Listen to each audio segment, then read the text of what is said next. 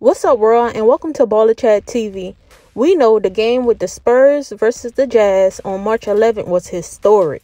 The Spurs were able to defeat the Jazz 104 102. This allowed Gregg Popovich to secure the most wins by a head coach in NBA history. And to make this more special, Gregg has been with the San Antonio Spurs for years. So I think it was pretty cool for him to get this title with an organization where he coached the majority of his games. He was only with Golden State for about two years. So basically, social media was on fire. Everybody was congratulating him, including Don Harris, who pointed out that he passed up Don Nelson for most wins of all time. And this isn't new to him. He was already the leader in wins for regular season and playoff games combined. So when you add up that 1336 plus the playoff games, so you'll see he won a total of 1500 games as a head coach. That's legendary to me. What you think?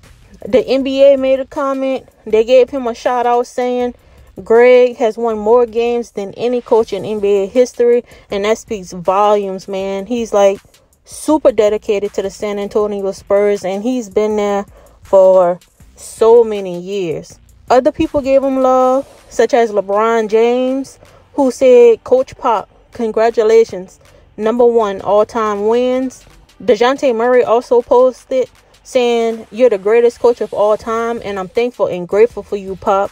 I love you so much, and you deserve this, and can't nobody ever take this away from you. And that's big coming from one of his key players right now we all know DeJounte Murray's history and how skeptical people were to give him a chance in the NBA, but the Spurs organization and Pop did, so that's major for him to give his coach a shout out.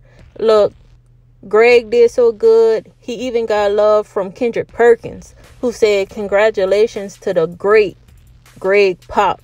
Now, you know there's always going to be a header in the building and it's none other than Skip Bayless. He said, Congratulations on becoming the NBA's all time winning coach.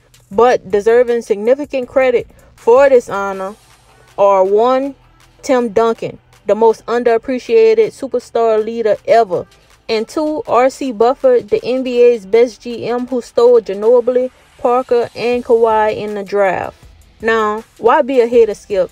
He just can't let nobody have their moment everybody in the world is aware that the GM basically call the shots.